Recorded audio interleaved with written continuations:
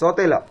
सौतेला या सौतेली, इसे इंग्लिश में कहते हैं स्टेप क्या कहते हैं फ्रेंड्स स्टेप ये एक एडजेक्टिव है, जिसका मतलब होता है related as a result of one parent marrying again है ना?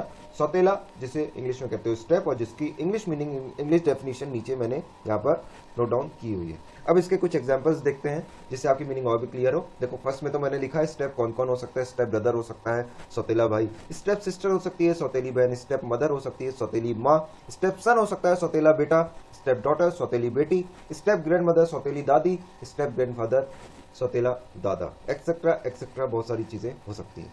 सेकेंड एग्ज़ाम्पल देखते हैं। Sometimes step relation are good as real relation कभी कभी जो सौतेले रिलेशन होते हैं, वो कैसे होते हैं? रियल रिलेशन की तरह अच्छे होते हैं। Sometimes step relation are good as real relation कभी कभी ऐसा होता है, जो सौतेले रिश्ते भी होते हैं, वो रियल रिलेशन की तरह बहुत अच्छे होते हैं।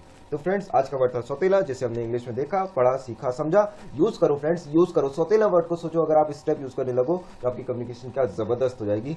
आप एक अलग व्यक्ति लगोगे, एक अलग पर्सन लगोगे अपने पूरे ग्रुप में। जो सौतेला बोलेगा, आप स्टेप बोलोगे तो लोग सोचेंगे, वाह यार, क्या कम्युनिकेशन फ्रेंड्स बस यही मेरा सपना है, यही मेरा टारगेट है कि आपकी कम्युनिकेशन को मैं इंप्रेसिव कर सकूँ अट्रैक्टिव कर सकूँ, शानदार कर सकूँ मावलस कर सकूँ अमेजिंग कर सकूँ, बिंदास कर सकूँ और ज़बरदस्त कर सकूँ। तो फ्रेंड्स मेरे सपने में साथ दो और थ्री मिनट्स स्पेंड करो ताकि आपकी कम्युनिकेशन बेस्ट हो जाए। चलिए, मैं आपसे मिलता हूँ नए वर्ड में, नई वो के साथ, नए माइंडसेट के साथ, नई पॉजिटिविटी के साथ। तब तक अपना ध्यान रखिए।